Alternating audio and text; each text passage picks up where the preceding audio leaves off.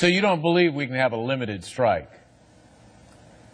I think it is possible, but I think if you pay closely, close attention to what the Foreign Relations Committee did yesterday, they very much broaden the definition of what that resolution is about.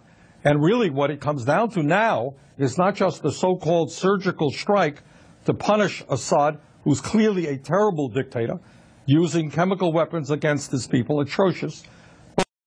Resolution is about is saying we're not just going to punish Assad, we really want regime change. We want to change the momentum on the ground.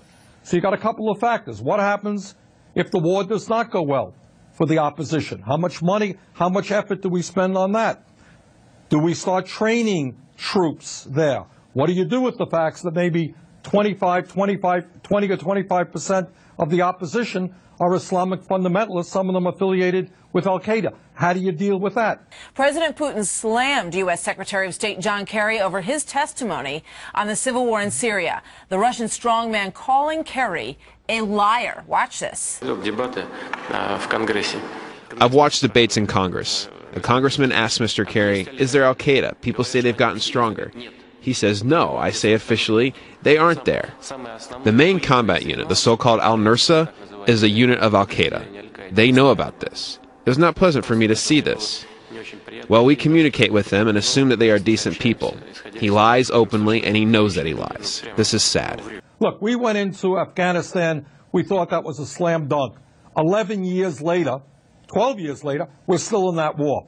We went into Iraq, no problems. 4,600 deaths later, $2.5 trillion later, we're still concerned about that war. So the Middle East is a quagmire. And what if Syria use chemical, uses chemical weapons again? Well, you got to use, you know, there are a lot of problems in this world, and it's atrocious. But right now, we have 14% of our people unemployed, 20% of our young people unemployed. What about those kids?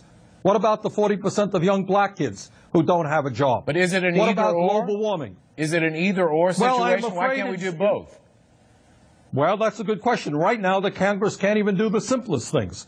Right now, the Congress doesn't even discuss massive unemployment, the growing gap between the rich and the poor. What do you think happens if you're involved in a war in Syria? Do you really think that Congress is going to start addressing the important issues facing the American people? Furthermore, I have to say that I find it interesting that right now, today, as a result of Republicans refusing to raise taxes on the wealthy or corporations, we're throwing children off of Head Start.